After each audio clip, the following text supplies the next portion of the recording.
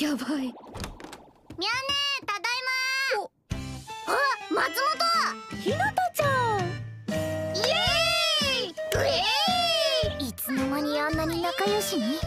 特殊な共通点があるからでしょ。お姉さんっていう。